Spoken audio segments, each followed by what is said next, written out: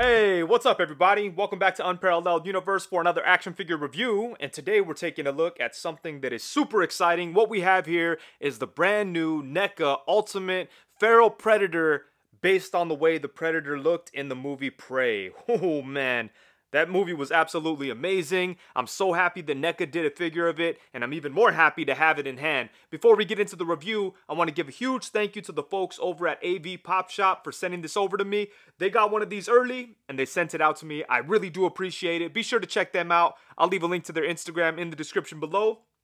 They're based out of Lancaster, California. Met them at Comic Con this past year, and they were awesome folks. So, yeah, huge thank you to them. But let's go ahead and get right into it, starting off with the packaging. The packaging's pretty basic. It's just a black background. It says Prey Ultimate Feral Predator. On the side, same kind of thing going on. And then down here at the bottom of the box, we get some credits for the people that worked on the figure, and we also get some instructions for some of the accessories that he comes with. On the back, we get a look at the figure, which is awesome, and then a little bit of information about this particular Predator. Down here, it gives us information as to what comes in the box, and then, of course, like all Ultimate NECA figures, you can open this up and you get a look at the figure on the inside. And then on the opposite side, we have a shot of the figure itself. And yeah, look at that, man. That is looking freaking awesome. Cannot wait to open this up. I'm a big fan of the NECA Predator line. Um, I love the figures quite a bit, but, you know, with a lot of the stuff that they put out, they kind of feel similar, you know? There's a lot of, like, reuse in that line, but they're dope. I like all of them, but it's cool to get something that's going to feel completely new. As far as I could tell, the sculpt is completely original on this guy, and it looks badass. But enough about the box. Let's go ahead and get this guy out and take a look. Dang, right out of the box, this thing is a straight beast. Check him out, man. He came out so good. I love this design for a Predator. I love the design and the whole concept behind this movie. I think that's a genius idea, putting like Predators into different time periods and different settings and having him go head to head against the inhabitants of those settings. I think that's perfect. And I love the fact that they started with Predator or a predator fighting against like some indigenous people that don't have like a lot of advanced weapons or anything and they kind of match that whole energy with the Predator himself. He's kind of stripped down, doesn't have a whole lot of armor or anything like that, and as a result, it makes it to where the figure is actually a little bit more fun to play with than previous Predator figures because he doesn't have as much armor. So it does seem like he has a little bit more articulation going on, so that is really cool to see. But yeah, man, this design is awesome. I love the way that NECA did the skin. It kind of has like a like a bit of a wet look to it, almost like he's sweating or something, or he's slimy, or I don't know. It looks crazy. It looks very lifelike, you know? But man, look at this. That's a great looking figure. And then he does have his crazy shield blade thing. And that plugs right into the arm, which is really cool. And it plugs in there with no, not too much of a hassle. And it stays in there securely, so that's nice. And then on the back here, this is something I've never seen on a NECA Predator figure. You see as this backpack right here? It's not pegged into the back. It's actually held on with a magnet. And the magnet's pretty strong. It keeps it in place pretty securely. And then he does have the removable mask or the bone helmet thing. And look at that. Bam! Check out that ugly ass dude right there. and they did a great job with this bone mask thing because it comes on and off very easily, but it it clicks onto his head really securely, so you don't have to worry about it falling off or anything like that. So that's nice, and it sits on there very naturally. It looks good, doesn't look awkward or anything like that. But yeah, man, this is a, a beautiful looking figure with a whole bunch of great detail. As always, no surprise at all. NECA completely killed it with the sculpting and the design and all that stuff. So yeah, man, I, I love the way this guy looks, and he's a whole lot of fun to play with. So Right out of the box, I'm super impressed with this guy. But let's go ahead and get in close and take a look at the details on him. Because like I said, NECA completely killed it with all that stuff. And it looks amazing. You know, one thing I really love about looking at figures based on movie monsters is that when they're done as well as this guy, when you get in close, you're able to see a lot of details and design elements that you may have missed in the actual films. Like for instance, in the movie, the entire time that this guy's running around, it's very dark. He's like in dark forests, and then like at one point, he's fighting a bunch of soldiers, and it's all smoky. You really can't see all the crazy details on him. But then when a company like NECA comes along and just you know does an incredible job on a figure, you're able to to get in there and just see all the cool things that you may have missed from the film. Like it kind of adds like another level of fun to it, you know.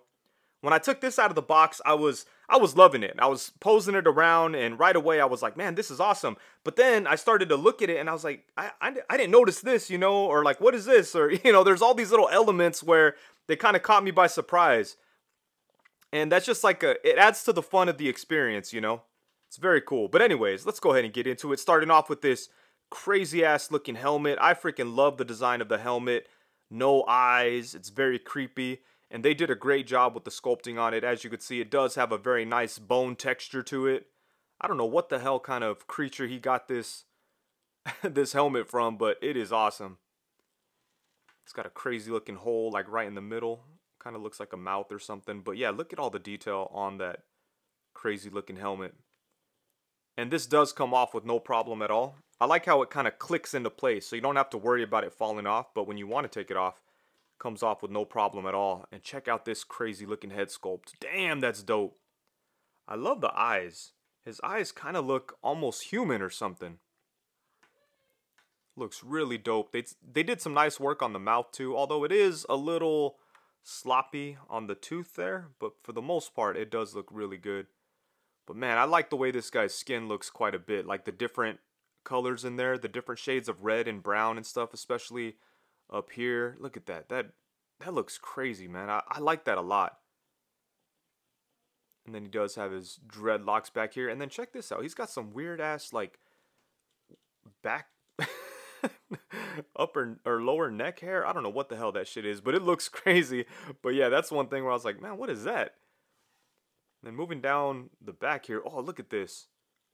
I love the way his spine looks. That looks so creepy, you know? And then he does have his backpack thing that you are able to attach right there by a magnet. And it holds on there nicely. You don't have to worry, you don't have to worry about it falling off or anything. So very cool. But yeah, check out the skin on this guy. It looks crazy.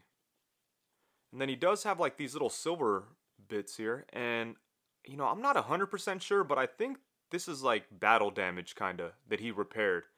Like maybe he got slashed and then I think that's what it is when you see those silver lines on Predator figures.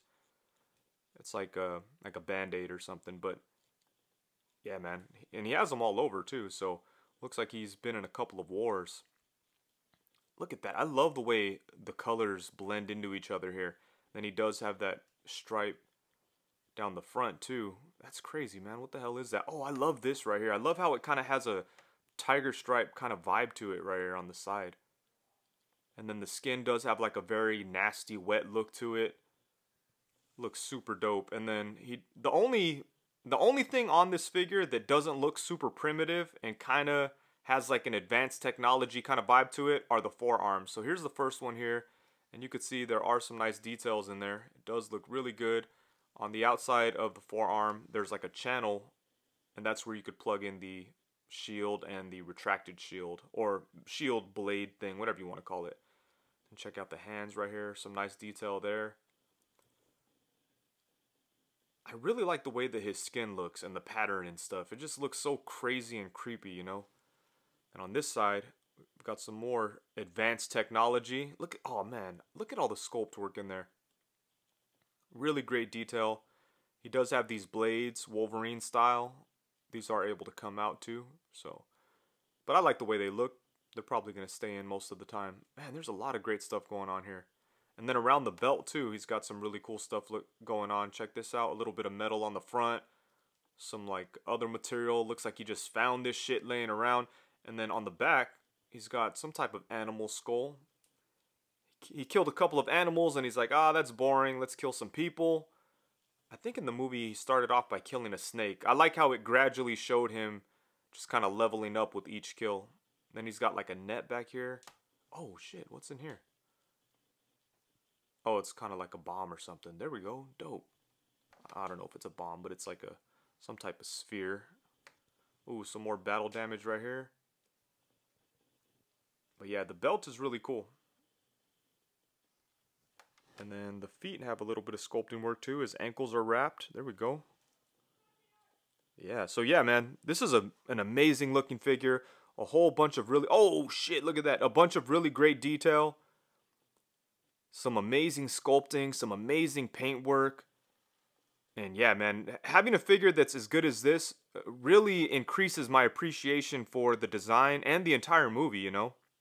So really good stuff, beautiful looking figure. And then for accessories, he does come with a bunch of really cool stuff, including multiple sets of hands. So first off, we have a pair of fists, and then we have a set of open hands, and then we have three different sets of gripping hands that could be used to hold on to the various weapons that he comes with. He also comes with three different faces, like uh, interchangeable mandibles is how they kind of listed on the box. We have three different options. All of them are crazy.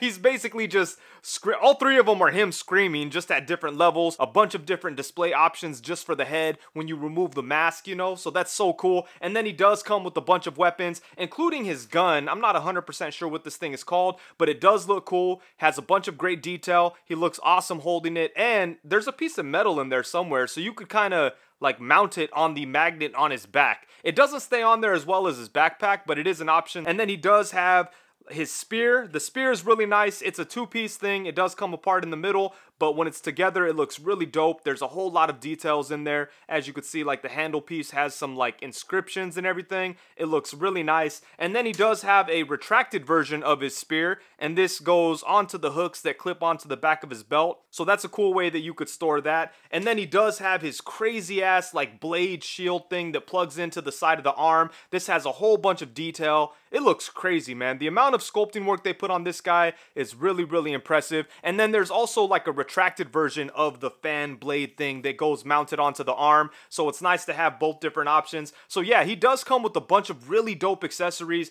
There's a whole lot of different display options, a bunch of different weapons, hands, everything that you could want, he comes with it. Alrighty, so now for some size comparisons. Here we have him alongside some of my favorite Predator figures. On the left, we have the Shaman Predator. On the right, we have the Yellow Lantern Predator. And then here we have them alongside two more of my favorite Predator figures. On the left, we have the Alpha Predator. On the right, we have the Laser Shot Predator. And this new Prey version is definitely going to join the ranks of my favorite Predator figures in my collection. He's definitely going to end up being like top five or something. And then here we have him alongside a couple of other Predators. And I'm not even 100% sure where these come from. I think the one on the left is from the most recent movie before Prey. I could be wrong though. And the one on the opposite side on the right is one from like Predator 2. Isn't he one of the ones that popped up in the spaceship at the end or something? I could be wrong. Let me know in the comments. And then here we have him alongside the Nada Toys enveloped Yamo figures. And man, imagine one of these Predators in like feudal Japan. I think that would be like another really cool setting for a story like the one that we got in Prey. Dang, this dude is pretty tall. I didn't think that he'd be as tall as the creature from the Black Lagoon, but he's even taller, damn it. That's crazy. But here we have him alongside the NECA, Universal Monsters Frankenstein, and Creature from the Black Lagoon. I love this creature figure. NECA, man, they really jumped to another level with these two figures right here. This Prey Predator and this creature are definitely like a level up from the awesome stuff that NECA has already been doing for years. And then here we have him alongside the Marvel Legends comic book Venom with the custom head from Casting Cave. On the opposite side, we have the Mafex Dark Knight Returns Batman. And then last but not least, of course, here we have him alongside the Marvel Legends Bucky Cap and Marvel Legends Renew Your Vows Spider-Man. And then as far as the articulation goes, this guy has a lot of good stuff going on. And you know what? I think that he might be the most articulated NECA Predator figure that I've seen so far. I don't have every single one, but out of the like 10 or 11 that I have, it seems like he has more articulation than all of them. So that is awesome to see. And a big part of that is because the design, you know, it's stripped down, it's primitive, it doesn't have like a bunch of armor and technology and all that kind of stuff. So things are a little bit more free to move around. But not only that, there's also additional points of articulation that I haven't seen on other NECA Predators. So a lot of good stuff. But let's go ahead and get into it, starting off at the head. So he has movement at the upper neck and at the lower neck, and that's not something that I've seen on a Predator figure before from NECA. And again, it has to do with the design, you know, because this guy has like a super long neck. Look at that. So he has movement at the lower neck, which allows his head to move up and down just right there. And then he has movement at the upper neck. So using both of those, he could look up a really good amount. And more importantly, he could look down a really good amount so he could kind of stare down at his victims. And then he could also tilt his head a really nice amount.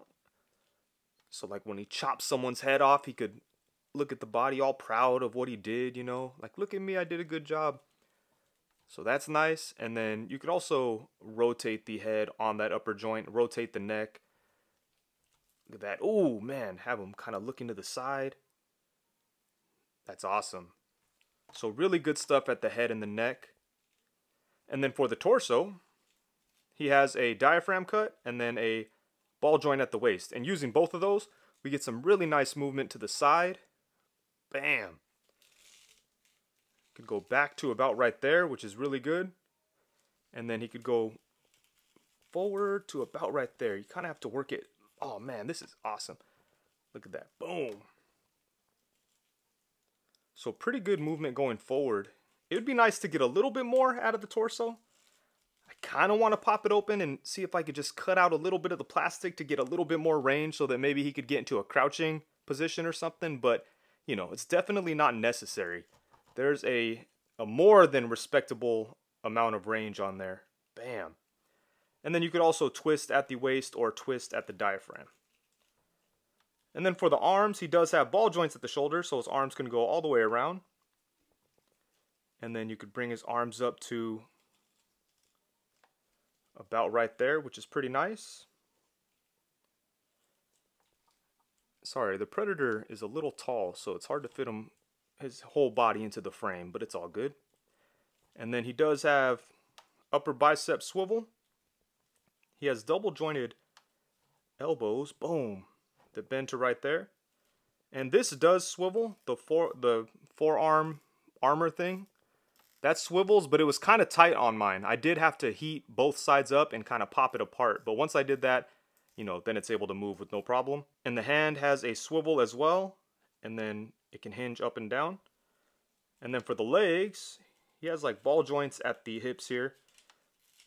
And you know, he does have a lot of stuff going on here. NECA has their typical setup where they have this piece that comes down and covers the ball joint, but not only that, he does have like his belt and stuff, so or his loincloth. But even with all that stuff, he could kick forward a pretty decent amount. Then he could kick to the side a really nice amount.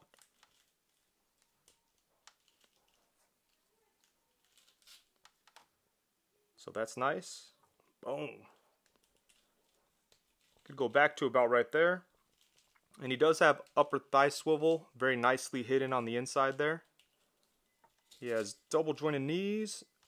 Boom, that bender right there. That's pretty good. Doesn't go all the way, but still a really good amount. And then he also has ball joints at the ankles. That's another thing I don't think I've seen on a Predator figure. I think the, the Stone Heart uh, Predator might have that, but I just figured because he was so big, they had to change it there. But maybe it's something they're going to do on all the Predator figures, which is nice because then we get like rotation in there. You can bring his foot forward to right there, come up to right there. Then you have rocking ankles. So good stuff. But yeah, man, like I said, he's got some great articulation. Probably the most articulated Predator. Let me know if I'm wrong, you know. Like I said, I don't have every single Predator figure. I have quite a few, and they all have very similar articulation.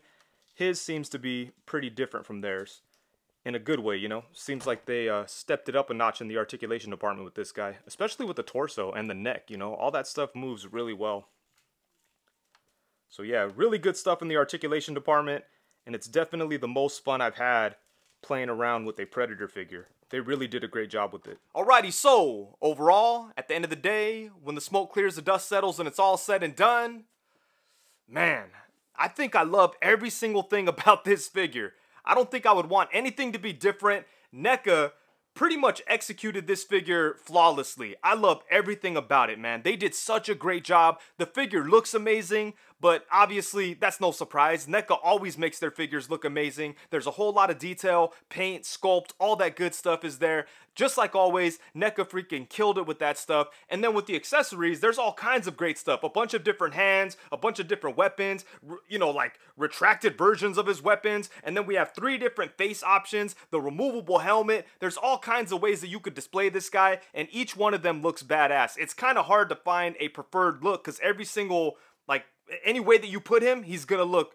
freaking amazing. And then as far as the articulation, that's really where this guy caught me by surprise. You know, I have a bunch of NECA Predator figures, so I'm pretty familiar with their articulation, but I was so happy to see that they added a little bit more in this guy, like that neck articulation, the ankles, the torso, all that stuff moves a little bit more than we've seen on previous NECA Predator figures. And obviously a lot has to do with the design, you know, that kind of allows him to have more range in the joints and things like that, but they also added some articulation, so that's so awesome to see, and he's definitely one of the most fun Predator figures to pick up and play with and pose around. So that was definitely a huge pleasant surprise and yeah, man, I freaking love this thing. NECA freaking killed it, man. Two in a row. Like, NECA always does a great job, but like this and the creature from the Black Lagoon felt like they're like on another level, you know? NECA already does an amazing job with pretty much everything they do, and it feels like they're kind of leveling up with some of these recent releases.